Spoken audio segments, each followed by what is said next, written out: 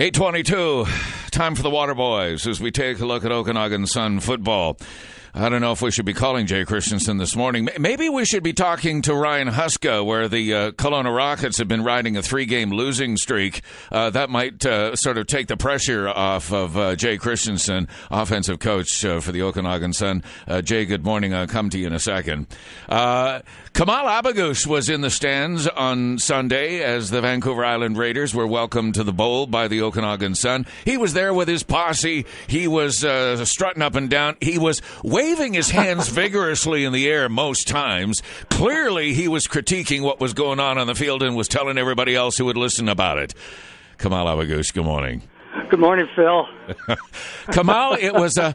It, it, uh, we'll go to Coach Christensen in a second, but but Kamel, it was a tough. It was a tough grandstand to sit in on Sunday.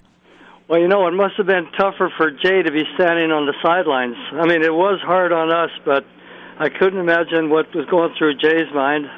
Jay, would you would you like to take us there, or is it in words that you can repeat here on the radio? No, absolutely. You know, I think really what happened is, uh, you know, going into the week of preparation, um, you know, obviously a lot was built up about the game, and I think Coach Casey did a, a pretty good job getting these guys to believe that, you know, 14 points is a, is a doable uh, amount to overcome.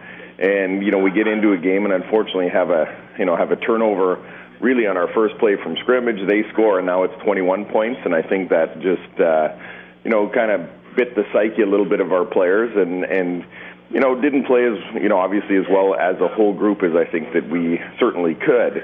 Um, I made comments to to some of the coaches. The funny thing is, if you watch the game film, the offensive game film, I don't uh, obviously don't pay attention as much to the rest of it, but the offensive game film, you would have thought we won the game if you didn't know the outcome. Seriously, it, it, on your side, you're you're quite happy with how the offensive oh, line. Oh no no no no! I'm not I'm not happy with the way they play, but I'm just saying if you watch the film, we did a lot of good things in that game. I think if you consider that in the fourth quarter we were throwing the ball to put some points up, they were running the ball to kill the clock, and we basically finished dead even in yards. We outrushed them up until that point.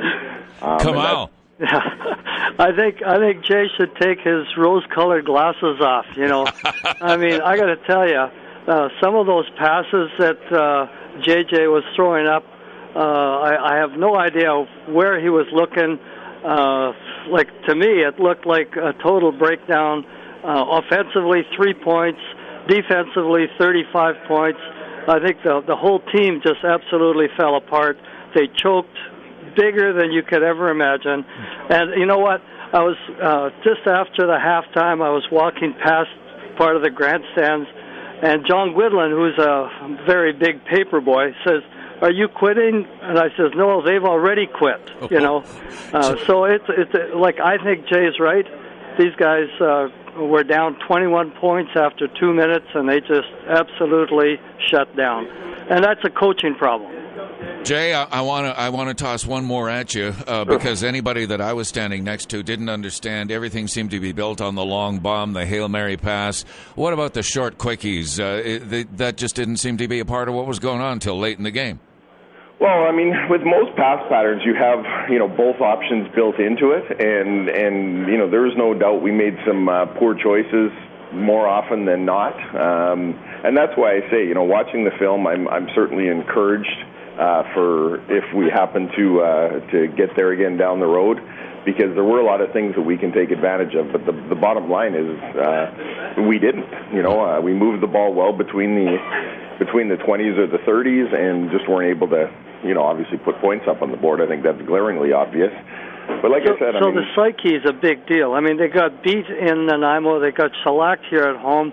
What do the coaches do to get these guys going? Hey, we actually can beat these guys if we play the game that we know we can play.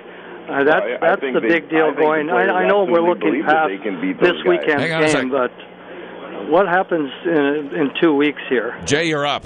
Yeah, I think absolutely that the players know that they can beat them if we get there in two weeks. I mean, fortunately, they're not focused on that. They're focused on the Rams because they're actually a pretty good football team. All right, let's go to the Rams right now. Uh, the first time you played them was August the 6th, and the final score was 33 23 for the Sun. The Rams put a lot of points on the board. The second time you played them uh, was, uh, was in Langley, and uh, it was uh, Sun 15, Rams 14, a whole lot closer than you would have liked. What kind of game are we going to see coming in this Sunday? Well, you know, I mean, I think for us the key is that we have to be balanced, uh, as I've been preaching. So we got to be able to run the ball, and and they've probably got, uh, you know, where I would say we've probably got the best uh, front four in the league. They've probably got the overall best front seven. Um, so it's you know it's going to be a challenge to, to move the ball on these guys. Uh, offensively, defensively, um, you know they've probably got the most dynamic player in the league right now in Nick Downey. So uh, you know, it's going to be, I think, an exciting game. I mean, you'll see big plays on both sides. Uh, hopefully, both sides of the ball, but uh, it's not going to be a pushover. Like I said, these guys are a pretty good football team. They had a, you know, the same obviously struggles with Nanaimo as we did, and they ended up splitting with Victoria. So I don't really know what happened in that one game. It was prior to my time, but uh, these aren't slouches for sure. Kamel, uh, win, lose, or draw, it'll probably be a much better game on Sunday than the one we watched last Sunday. Oh, absolutely. I'm sure. I'm looking forward for it to being a very good uh, football game, and uh, yeah, I, I'm. I, I will tell you, 98% of the fans that were there, and they had a great crowd, by the way. Uh, we we all are looking to next week's game. There's, like most people are thinking this is a gimme. I know Jay won't say that, but uh, it's uh, you know we're looking. We're going to be there in Nanaimo in two weeks. Yeah, but you know what? I wouldn't mind coming out of it with a Sun 33 Rams 23 uh, kind of a score, Jay. It would certainly be an adequate tune-up uh, if that's where we're looking uh, before you head to the island. Oh, like I say, they're they are they are a good football team. I don't think it's going to be a gimme, but uh, you know, I would if you know again if we move on past this weekend, I would rather have played a battle this Sunday to be ready for the following week than the gimme that Nanaimo is going to see. All right, gentlemen, I want to thank you. Kamel Abougoush, keep serving that coffee and those breakfasts over there at the Grateful Fed. Jay uh, gets uh, ready, starts packing his bags, uh, and gets ready for the trip to the island. But first of all, it's the date with the